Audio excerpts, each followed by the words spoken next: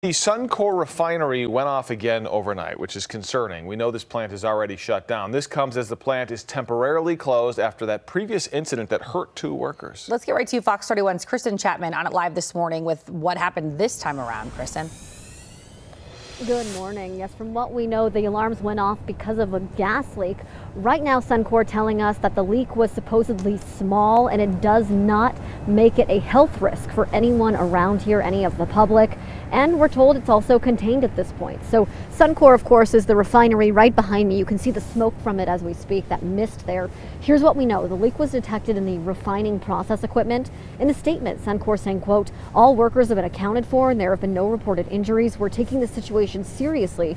Suncor's top priority is ensuring the health and safety in our workplace. You likely remember this plant has been shut down since December because of a fire that injured two people working there. Suncor blaming extreme weather for damaging the equipment. Shortly after the incident, Governor Jared Polis issuing a verbal emergency declaration for the closure as the Suncor refinery makes up a large portion of the local market for fuel. He formalized this declaration two days ago, renewing it for another month. So this allows the state to regulate trucking hours, truck weight limits, and even streamline pipeline regulations. Unfortunately, the shutdown is contributing to more expensive gas. Polis's office sharing, quote, Polis asked his staff to help fill supply chain gaps throughout the month. The governor has been in contact with Suncor, Marathon, Chevron, Phillips 66, Valero, Sinclair since the outset. So the shutdown is expected to last until March. That's when the refinery hopes to reopen. Of course, we'll keep you updated as this investigation continues.